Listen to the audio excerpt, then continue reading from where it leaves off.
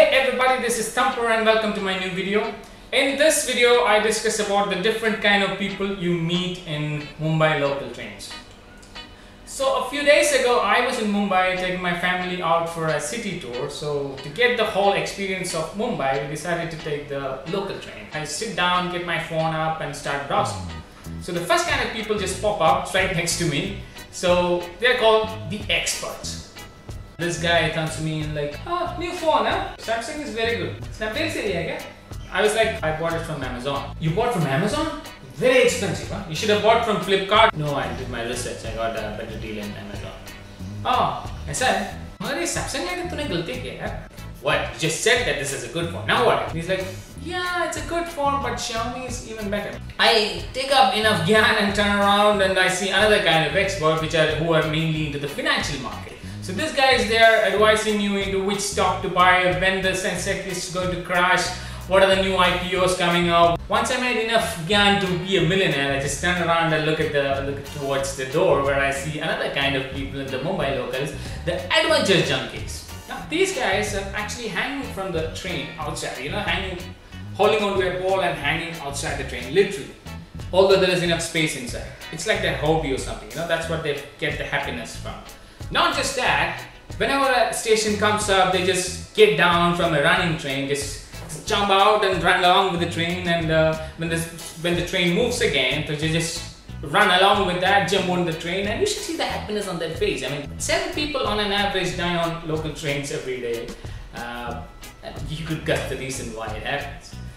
So we get to the destination, we go around the city and uh, cover all the spots and by around evening we have to come back, we come back to a station, return. Holy moly guacamole. I mean this is so crowded. I mean if you haven't been to Churchgate station during a rush hour, you haven't seen nothing yet. We somehow managed to get in. We don't get a seat. My face is squished against the wall. There's a 20 people on my side. It's all sweaty. It's all hot. I'm just being suffocated. I just look around to see something and I see the next kind of people I was looking for. The choppers and scrapers. These are a bunch of people who are sitting with their knives and all, you know. Mainly working women returning from their job and they're all doing the chopping and preparation of the vegetables for the dinner. It's great, man. It shows you the spirit of Mumbai, you know, the work and you, you're getting your shit together and everything. So while they're coming to the station, they get whatever vegetables they need from the nearby markets. Every station has a market nearby. They get into the train, grab a seat, start chop, chop, chop, chop, chop, chop, chop. It's not an individual activity. It's more like a teamwork. Now, there's one person doing all the peeling, there's another person doing all the chopping of onion, there's another person scraping the coconut. Corporate have to do some kind of training on collaboration, teamwork, and efficiency or something like that. They don't have to send them for an expensive training. All they have to do is send these people into this local train during a rush hour, and that's it. You get to see everything that is required.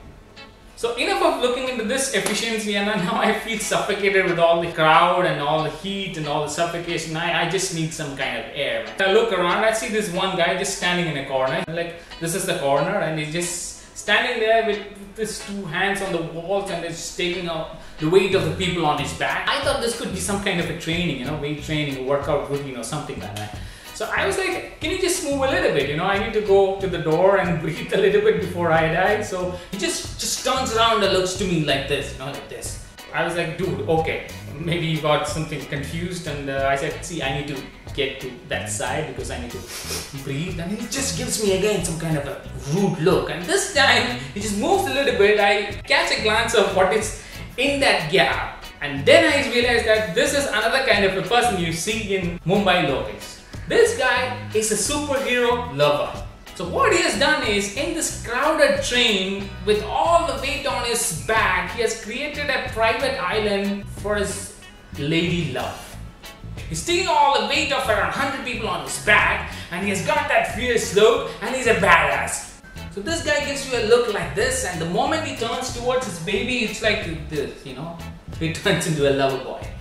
That's also, I think, is a part of the the superhero thing which I've seen in the movies. You know, you're a badass and the, and the lover boy. So, and they even managed to steal a couple of cases in that rush, in that crowd, in that Indian train. If that's not some kind of a superpower, I don't know what is. I ditched the plan for breathing. I'm just standing there and as we're approaching the next station, there's a bustle and bustle that is happening and as we are almost reaching the next station, I see the next kind of people, the Spartans. Sparta! There are two sides in this war. One trying to get out of the train, another one trying to get into the train. And both these parties may not really want to do that, but they're just doing it for the fun pushing, they're all screaming, they're crying, they're laughing and everything. They're just enjoying it and they're just kind of uh, relieving the stress or something like that. If you happen to be in the middle of it, you may just be dead. You know, you may literally be thrown out into the station. You may just bang onto some kind of a steel pole and die. It has happened. So I feel relieved that I didn't go near the door when I thanked this superhero guy and I look into him and he's like, you know, still standing there unshaken all the war is happening, he's still holding his place and he's doing all the lovey-dovey thing. So the train goes on, my station is coming next, I have to get to the door so that I can get down. So I get to the guy next to me and say, see, I have to get down in the next station and uh, he, he laughs at me and he says something. And that makes me realize that I'm among the type of people who I'm going to describe next. The skippers and misses. So he tells me that the people who are standing in the door right now are the people who are supposed to get down like three stations ahead if I had to get down to the next station, so I had to be in the door like 15 minutes ago. And I was like, how is that even humanly possible? Among this war, the superheroes, all the sweat, all the pushes, how was I supposed to survive in that door like for 15 minutes? So I'm like desperate, I have to get to the door. So I just try to wiggle my way out. I, I beg and plead and tell people that I have to get down in the next station. And it just moved like two inches and the sta station has already arrived. And I couldn't even be near to the door. Before I could move for like 2 inches, the train starts again. so what happened is that I get down like 3 stations ahead and catch an auto and come back to the station where I was supposed to be and uh, meet my family. And that was my experience in Mumbai local and if you have a different kind of experience or different kind of people you know, do comment below and let us know. And if you like the video, click thumbs up and share among your friends in all social media. Do subscribe to this channel for more videos to come. Ciao!